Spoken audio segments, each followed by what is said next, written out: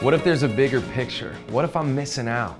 What if there's a greater purpose that I could be living right now outside my own little world? These were some of the questions that I've been asking myself ever since I began a journey of discovering the power of the story that lies within all of us. I decided I was going to make a CD of songs inspired entirely by the real life stories that people sent to me. So I sent out this invitation. I said, Tell me the story of your life.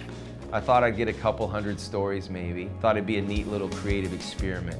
Instead, I received over 10,000 stories. One by one, as I read through the 10,000 stories, I found my eyes being open to realize that there's a world outside my door. Many of them are crying out for help, and they're waiting for somebody, anybody, to care, to take the time to find out what their story is and how they could help. That's when it hit me.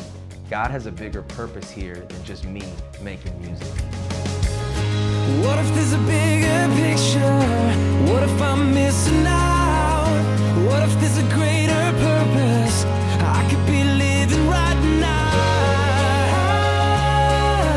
Outside my own little world. You see, most nights I would walk off stage at the end of the show feeling like we had left some unfinished business on the table.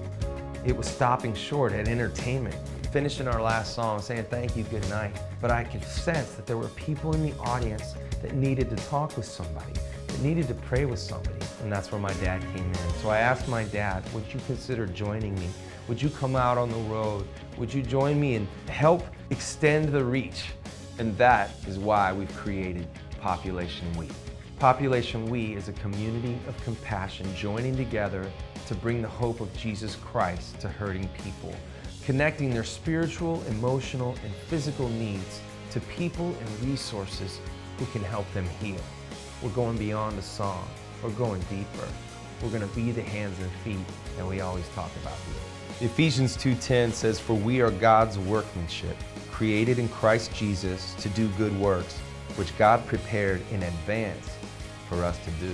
Population We is about digging deep into the stories of people's lives. Stories like this. She said, I'm a 15 year old girl that seemed to have the perfect life. That is until everything changed in the blink of an eye. My father left us. My wife and I started an adoption of a little girl named Lily in August of 2007. We were able to finally bring her home in November of 2009. May 11, 2002, 24-year-old drunk driver Eric killed one of my twins, Megan, and one of her friends, Lisa, both girls 20 years old. I am an unloved, casted out, and forgotten foster kid. Have you ever felt the pain of middle school? I have through my son. Why did it have to be my son? Mm. You know, and my mom said, well, why did God have to send his son for you? Today we gathered at his grave, and his grandfather spoke and said Ryan has touched more lives in his death than he ever could have in his life. I challenge you to join me in this community of compassion as we reach out, we become characters in the stories of other people's lives, and we bring the hope of Jesus Christ to a lost and hurting world.